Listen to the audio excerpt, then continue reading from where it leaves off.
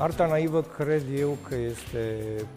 arta cea mai apropiată de sufletul omului și aș putea spune sufletul omului de rând, care o găsește mai aproape de el când ajunge acasă de la muncă,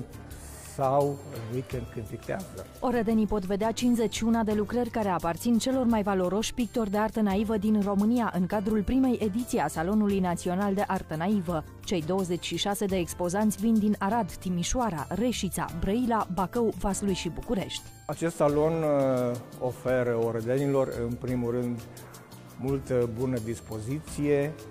uh, de ce nu un loc unde te poți încărca cu energie pozitivă și când pleci de aici să pleci cu zâmbetul pe buze. Salonul Național de Artă Naivă este găzduit de Biblioteca Județeană Gheorghe Șincai. Ne bucurăm să, să putem să avem uh, aici, în acest hol mare, cel de la intrare, aceste minunate creații uh, care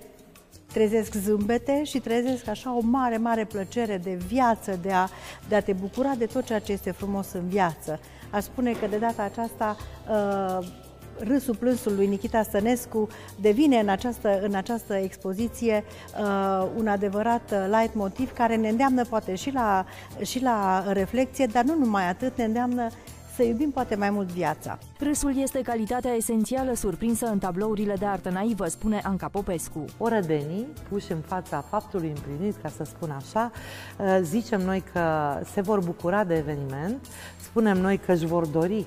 să se mai întâmple așa ceva pe simezele ad hoc din holul bibliotecii județene și spunem noi că uh, vor aplauda acest început de drum în ceea ce privește pictura naivă. Pictura naivă este uh, foarte specială, este un gen de artă uh, și contestat, și admirat, și promovat, și renegat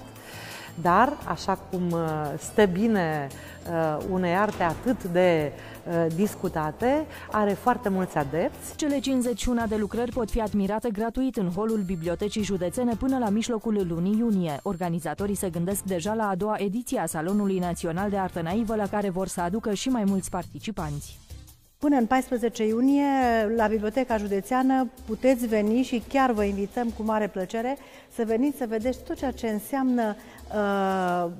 pictura naivă, așa zis pictură naivă, dar care ar zice că este mai mult decât atât, este o pictură primordială, este o artă pe care o descoperim cu foarte, foarte mare plăcere, datorită, în primul rând, domnului Mihai Dascălu, creator la rândul său bine cunoscut și datorită celorlalți colegi care s-au implicat foarte mult în acest proiect, Centrul Județean de Creație și Direcția Județene de Cultură.